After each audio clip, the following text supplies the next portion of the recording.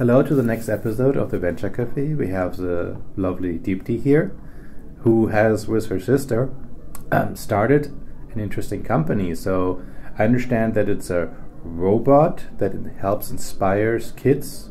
Uh, you said uh, in a elementary to high school range, roughly. Yes. Uh, to inspire them to learn how to code. Yes. On this one, so can you share a little more about this about this robot? How does it inspire kids? Yeah, thanks, Horst, for inviting me to do this podcast. Um, you know, our uh, mission is really to um, inspire innovators of tomorrow. Um, and you know, we all know that robotics is the mm-hmm. future, mm-hmm. and um, I think it's uh, important to teach kids um, early on about mm. the concepts of science, technology, engineering, mm. and math, of course, um. STEM uh, concepts, so that they'll not only be able to um, understand how mm. to uh, interact with technology or even uh, mm. develop their own technology in the future, mm. uh, but also it uh, provides them an, uh, a way to mm. um, develop skills such as problem solving, creativity, and um, helps them innovate at a young age wow. so that that'll develop into something really big. It's, it's amazing. Every generation is smarter than the one before us, and, yes. and uh, standing on. How the people say we're standing on the shoulders of giants already yeah. on this one. Now, what um, inspired you to to pick up such a project? Did you have the idea for the robots?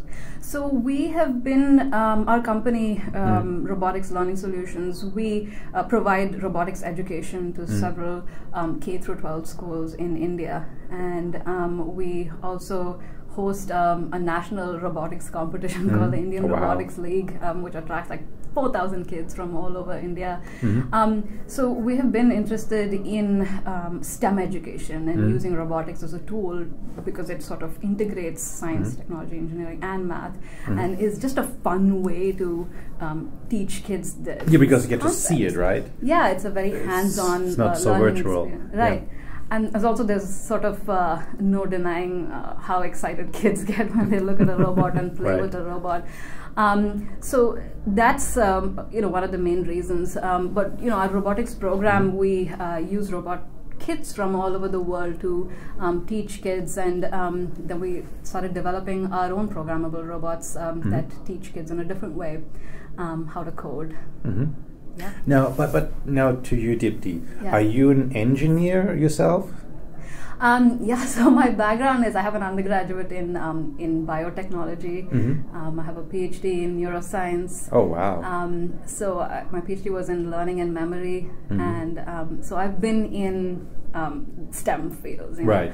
Um, but I've always been interested in um, technology innovation. Mm. Um, so after my PhD, I uh, joined a neurotechnology mm. company. Um, it was a startup. What was your inspiration uh, to to go into that was field? I mean, the you said you have always been interested in the STEM. Now combining this one, but what was what what was your inspiration? Who was was there a specific event or person or that uh, that caused you that kind of pushed the you into that direction? Yeah, I mean, I think I I was always interested in biology. Mm-hmm. Why were you always interested in biology? I think I saw the movie. I think it was when I saw saw the movie Jaws. Oh, I was wow. really interested in sharks, and I wanted mm. to do a project. I don't know in seventh grade on sharks, and I was obsessively wow. researching everything about wow. you know great white sharks and hammerhead mm. sharks, and it was about observing how mm. things um, in nature behave mm-hmm. and sort of in a in a in a scientific process mm-hmm. and um, so that um, inspired me that was one of the things that wow. sort of got me excited into it um, when I joined my undergrad I think it was the year that the human genome was coded 2000 mm-hmm. Um, uh, the late 1990s and um, there was this big boom for biotechnology and I was mm-hmm. like I want to be part of that I mean it's so Mm-hmm. exciting to be right. part of that new innovation in Mhm. any um, field and I want to be part of that cutting edge. And Mm. that sort of interest has continued, I think. Wow. And um, so then I made a switch after uh, my PhD into the business side of science Mhm. and, um, you know, working on technology is, a, is sort of a direct application of um, what um, people do in, in labs and Mhm. uh, you know what they research on and translate that into a product that can be used by people and Right. change lives in a positive way. Now, uh, another very fascinating is fascinating thing about you is that you know you and your sister, so you have uh, Yeah. two women entrepreneurs picking up uh, a robotics technology, starting a technology company. This is not uh, as common. We like to see that more often happening, of course. Yeah. Is uh, to to happen this one. Did you feel that it was? Um, difficult as a woman to, to lead a company or do you feel like it was easier than expected or was there any did you perceive any gender uh, biases perhaps or problems in, in your in your in your starting the company I don't think there was anything blatant that Mm. um, stopped us. Mm. I mean, I think that education is a Mm. passion for both of us. Mm. Um, that's something that uh, we grew up with. Uh, our parents are also Mm. um, very passionate about education. Um, so, you know, I don't think there were any um, obvious um, sort let of me ask the question roadblocks. why do you think that there are so few women business leadership starting up uh, entrepreneurs starting up a tech company a tech company. I mean, I think it goes, uh, it starts off with Mm. young girls not that much interested in Mm. STEM subjects um, because they uh, tend to see it as engineering or technology as, Mm. as, a, as a boys' field. Mm. Um, and they get. Um, how do I say this? Um, intimidated by the complex concepts that uh, might be in engineering subjects and, and math, and Mm.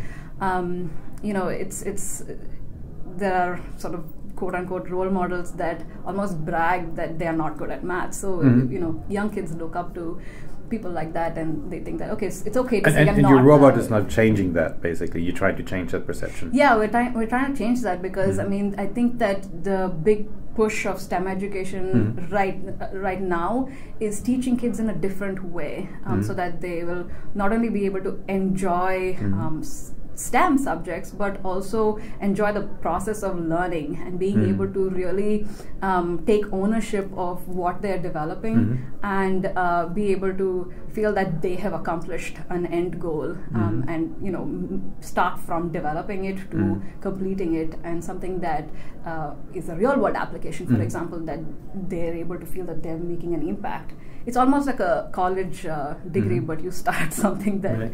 uh, you know for a Mhm. four year old Now, talk about your your project right now. At what stage are you in right now with your robot? Yeah, so we are in development. Um, we hope to have our prototype ready by the Mm. end of this year. Oh, wow. And um, launch it um, Mm. early next year. Mhm. So um, we're excited about it. We really want um, you know uh, kids to be excited about it. Mhm. More importantly, and um, parents and educators to um, get inspired to. Mm. Um, to use these tools to um, help their kids Right. learn in a different way. Yeah. Like- and and you're yourself, you're a mom, right? Yes, I am. I have Uh, a two-year-old daughter. Two year old, uh, one daughter, or two Yes. daughters. Okay. Oh. And then she's uh, she's going to be learning with a robot too, I assume. yeah, Awesome. she already knows uh, about uh, robotics in at a high level, and Oh, she loves wonderful. playing with the building blocks, with the Lego Mm. building blocks. Um, That's wonderful. So you know, I'm trying to start early. Now, Deepti, if somebody wants to continue the conversation with you, learn more about your robotics, and uh, just want to get a hold of you, Yeah. how can they do that? Yeah, um, anyone can uh, contact me at my email, um, deepti at robotixedu.com, Mhm. or can visit our website, uh, www.robotixedu.com. and EDU? EDU. EDU, yeah. so it's, it's education. Robotics with an X. Robotics with an X. Yeah.